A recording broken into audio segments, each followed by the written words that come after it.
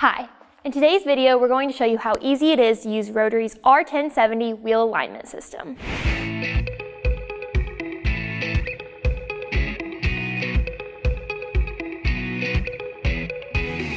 First thing to do is power on the alignment.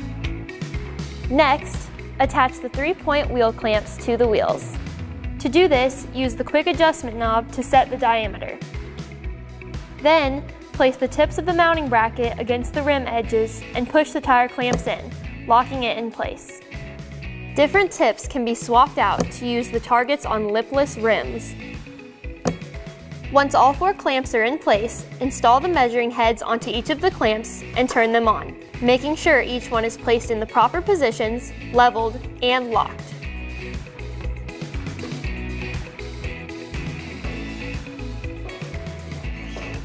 Now, hit the green button and enter the VIN number, or use the optional scanner. Once the VIN is scanned, select the car model and type by using color-coded keys on the keyboard. Toggling up and down with the blue and yellow buttons and use the green button to select. After the vehicle information is entered, the screen will show the initial target data. The areas that can be adjusted will have wrenches next to them, and the camera icons mean there are illustrations on how to make the adjustments. To get illustrations, press the gray key on the keyboard. Then hit the yellow button to go to illustrations, and the blue button toggles between views. To go back, hit the red button, then hit the green button to move forward to the next screen. Now, you'll see animations reminding you to lock the turn plates and mount the measuring heads if you haven't done so already. Now, hit the green button to continue forward. The next screen that pops up is for rolling compensation. But with our system, you can save time and bypass this step with most vehicles by hitting the green button. Now you'll see animations walking you through the final setup of unlocking the turn plates, applying the brake depressor, and jouncing the car. Once done, hit the green button on the keyboard or on one of the measuring heads to move forward.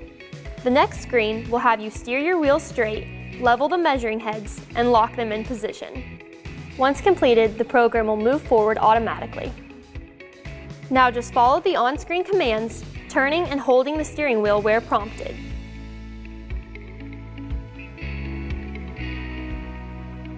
When the measurements are done, the screen will display all of the readings, showing you what is good in green and what needs to be adjusted in red. At this point, you can print out the results to show to the customer.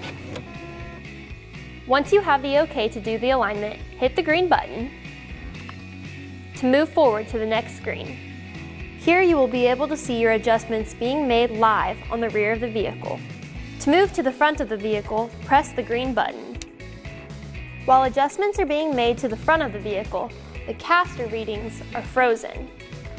If you need to make a caster adjustment, you can unfreeze the readings by pressing F5 to index the caster readings, and then press the red F1 button.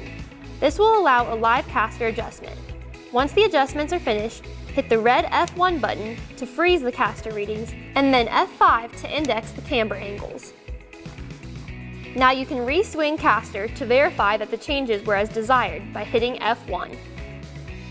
Also, if needed, the vehicle can be lifted with the rolling jacks while adjustments are being made. Once adjustments are done, the results of the repair can be printed to be given to the customer. And that's how easy it is to use the Rotary R1070 wheel alignment system. For more information, visit us online.